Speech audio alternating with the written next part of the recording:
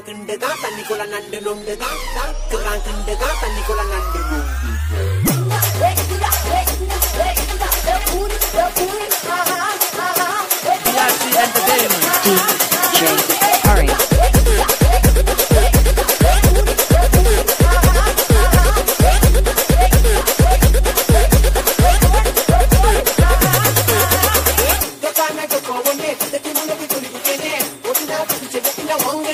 personal.